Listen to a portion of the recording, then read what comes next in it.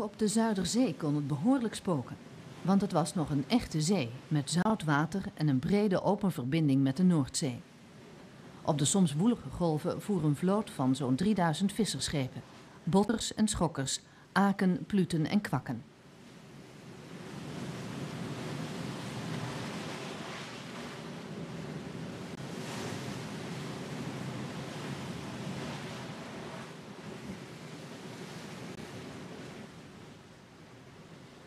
De Zuiderzee was rijk aan vis.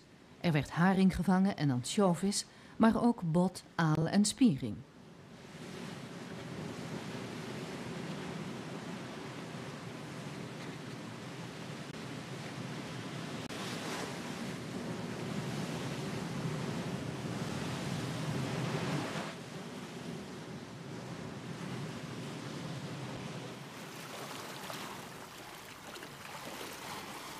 De stadjes en dorpen langs de Zuiderzee waren volledig gericht op de visserij. Langs de havens lagen zeilmakerijen en palingrokerijen, werkten scheepstimmerlui en nettenboeters. En er waren tientallen werven waar schepen werden gebouwd en gerepareerd.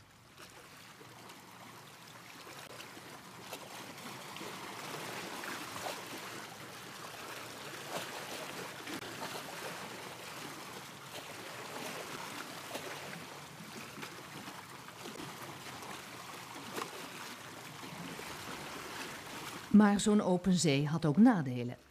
Als de Zuiderzee door een storm werd opgestuwd, kwam het omringende land onder water te staan.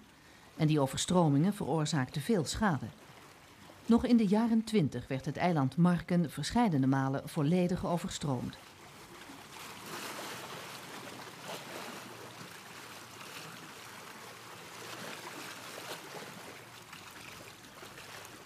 Na zo'n rampzalige overstroming in 1916 was besloten om een oud plan van ingenieur Lely uit te voeren. De Zuiderzee zou worden afgesloten en voor een deel drooggelegd, want dat leverde veel nieuwe landbouwgrond op. In de tweede helft van de jaren 20 werd dit gigantische werk ter hand genomen.